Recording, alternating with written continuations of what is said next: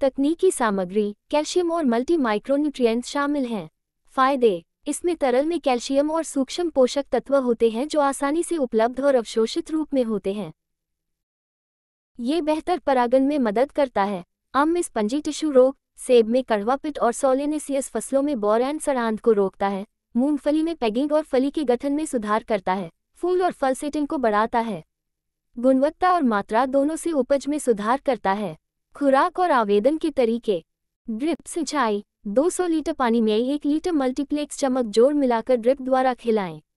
हम फूलों और फलों के विकास के चरण के दौरान दो से तीन अनुप्रयोगों की सलाह देते हैं। परनी या छिड़काव, एक लीटर पानी में तीन मिली मल्टीप्लेक्स चमक जोड़ घोलकर पत्तों की दोनों सतह व फलों पर छिड़काव करें। हम दो से पाँच छिड़काव की सलाह देते हैं। जो फ़सल के आधार पर फूल आने के साथ शुरू होने वाले छिड़काव के बीच 15 से 20 दिनों के अंतराल पर होता है। बेहतर परिणाम के लिए मल्टीप्लेक्स मैक्सीवेट को एक मिलीलीटर या मल्टीप्लेक्स नागस्थ 180 को शून्य दशमलव तीन मिली प्रति लीटर तैयार स्प्रे घोल में मिलाएँ।